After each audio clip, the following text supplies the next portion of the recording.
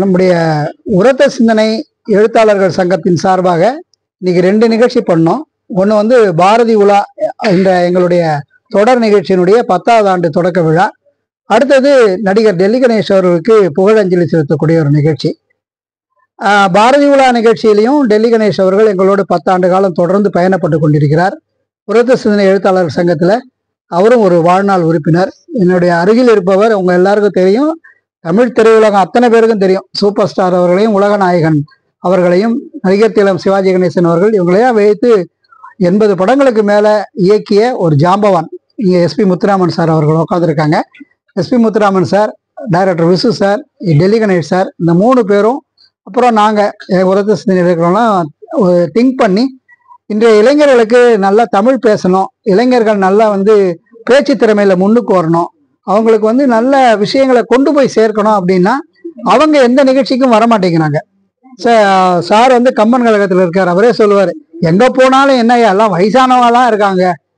எங்கேயுமே இளைஞர்களே வர மாட்டேங்கிறாங்களே கல்யாண வீட்டுக்கு போனால் கூட இளைஞர்கள் வர மாட்டேங்கிறாங்க என்ன பண்ணலாம்? அப்படின்னு கேட்டார்.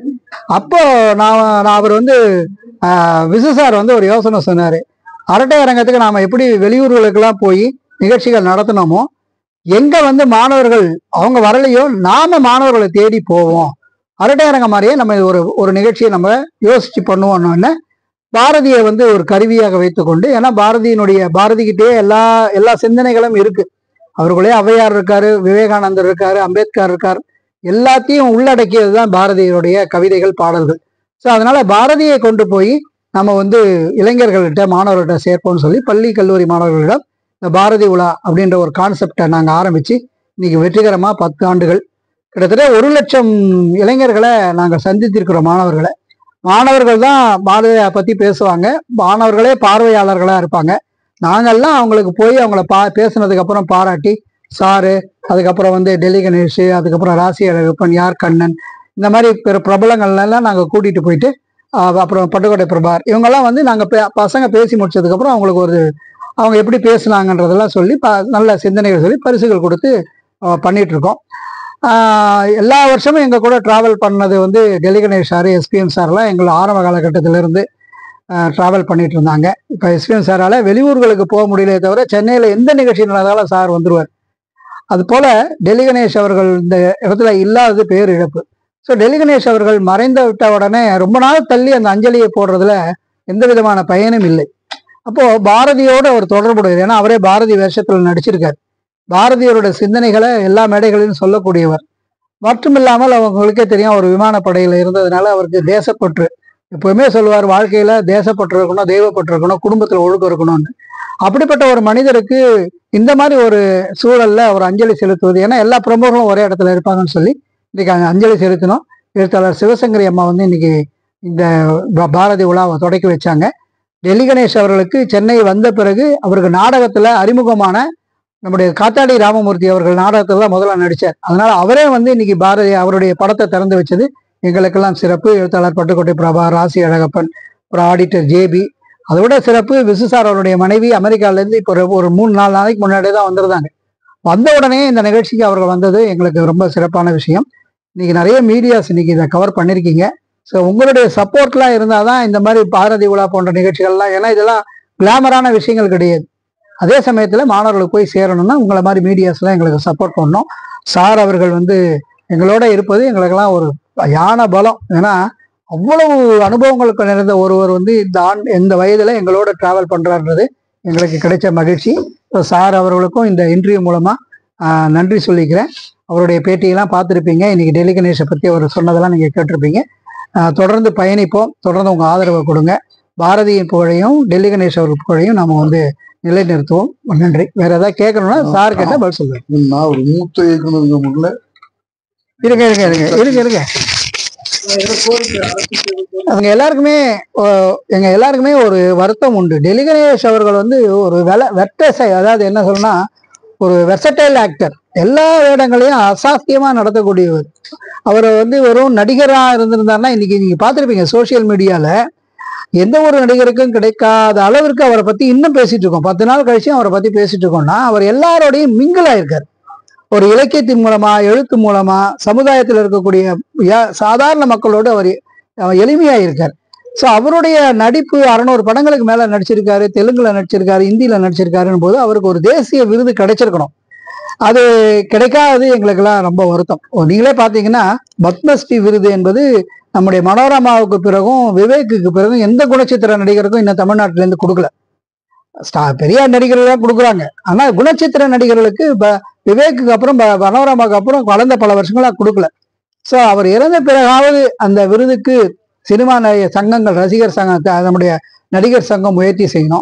அதே மாதிரி டெல்லிகணேஷ் அவர்கள் இருக்கக்கூடிய அந்த ராமாபுரத்தினுடைய முத்தமிழ் நகர் தெரு வந்து அவர் பல வருடங்களாக அந்த ஏரியாவில் இருக்கிறதுனால அந்த தெருவுக்காவது அவருடைய பெயரை வைத்து டெல்லி கணேஷ் தெரு என்று பெயரை வைத்து அந்த ஒரு கலைஞருக்கு பெருமை சேர்க்கணும் அப்படின்றது என்னுடைய கோரிக்கை. ஏன்னா ஒரு கலைஞர் இப்போ விவேக் முதல்வர்கள் வந்து நிறைய கோரிக்கைகளை உடனுக்குடனே நிறைவேற்றினார் ஒருத்தருங்க சொன்னாங்க விவேக் பேரில் விவேக் இருக்கக்கூடிய தெருவை வந்து நீங்கள் அவர் பேரில் இருக்கு மாற்றணும்னு சொல்லி ஒரு இருபத்தி நாலு மணி நேரம் கூட ஆகலை. உடனே ஒரு அறிவிப்பு போட்டார் அந்த தெருவை வந்து விவேக் தெரு அப்படின்ட்டு.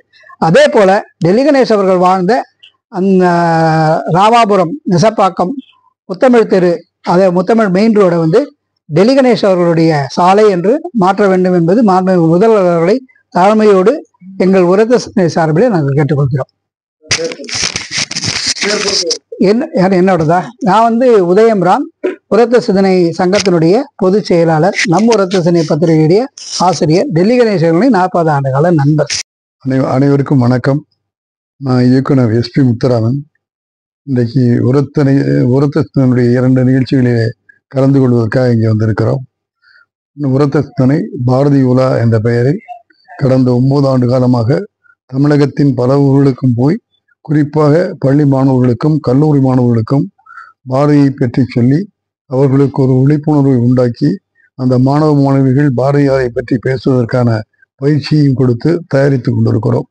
இந்த ஒன்பது வருட நிகழ்ச்சிகளிலும் பெரும்பகுதி நானும் டெல்லி கணேசனும் பட்டுக்கோட்டை பிரபாகரனும் நம்முடைய ராசி அழகப்பனும் யார் கண்ணனும் இப்படி பலரும் போய் அந்த மாணவர்களை சந்தித்து அவர்களுக்கு விழிப்புணர்வு இருக்கிறோம் அதனாலே பல கல்லூரிகளிலும் பல மா பல பள்ளிகளிலும் மாணவ மாணவிகள் இன்றைக்கு பேச்சாளர்களாகி பாரதியை பற்றி பேசிக்கொண்டிருக்கிறார்கள் குறிப்பாக கம்பன் கழகத்தில் தான் பல பேச்சாளர்களை ஐயா இஸ்மாயில் காலத்திலே உருவாக்கினார்கள்.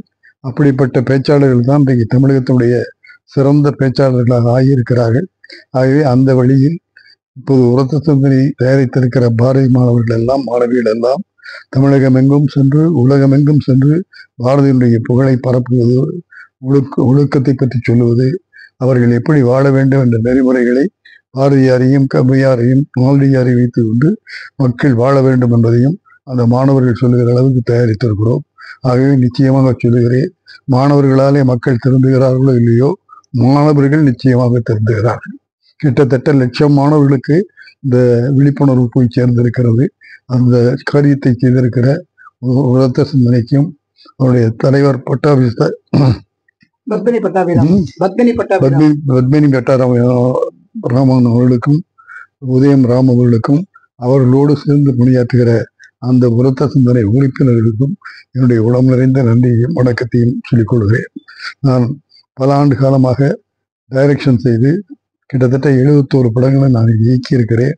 இப்போது நான் ஓய்வில் இருக்கும்போது என்னுடைய நேரத்தை வீணாகாமல் நல்ல பயனுள்ள காரியங்களுக்கு பயன்படுத்த வேண்டும் என்பதற்காக உரத்த சிந்தனையில் கம்பன் கழகத்தில் கண்ணதாசன் மன்றத்தில் இந்த மாதிரி புது நிகழ்ச்சிகளில் கலந்து கொண்டு என்னுடைய நேரத்தை வீணாகாமல் பயனுள்ள நேரமாக நான் ஆக்கி கொண்டிருக்கிறேன் என்பதையும் உங்களிடத்திலே சொல்லிக்கொள்ள ஆசைப்படுகிறேன்.